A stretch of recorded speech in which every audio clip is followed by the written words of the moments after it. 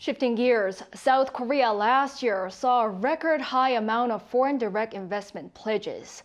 Data from the Ministry of Trade, Industry and Energy on Thursday shows that the country received some 32 billion US dollars of FDI commitments in 2023, up 7.5% compared to the previous year.